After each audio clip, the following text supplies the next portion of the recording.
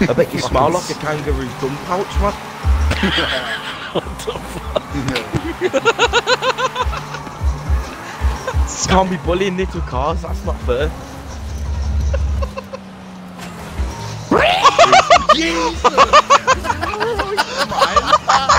Clipping, I'm sending it to Forza.